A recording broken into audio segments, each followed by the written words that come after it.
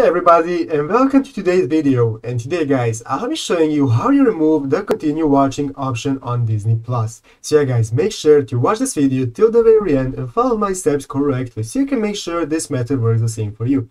This method works both on mobile phones and on PC so you do not have to worry what kind of platform you're on. But yeah guys let's get straight into it. The first thing you want to do guys is go to disneyplus.com and log into your account if you haven't already. If you don't have account go ahead and create a new account and then uh, you will be brought to this main page after logging into your account. So yeah, guys, let's go ahead and scroll down a bit and find the option that we want. As you can see here, guys, there is an option called continue watching, and there is no option to remove this, and it shows you all the shows that you have started but didn't finish.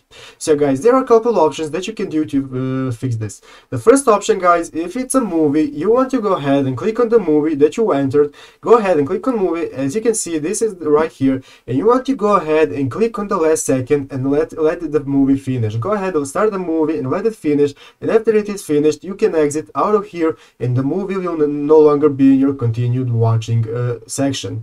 If the uh, thing that you want to remove is a TV show that you want, then you want to have to go into your TV show and go to the last season and to the last episode and do the same thing right here. Go to the last second and let it finish, and then it will remove itself from continue watching. So guys, those are the options that you have. You can uh, use any of them that you and that you need so yeah guys, I hope this video was helpful to you. If it was, make sure to leave a like and subscribe to the channel. So yeah guys, thank you for watching, take care and bye.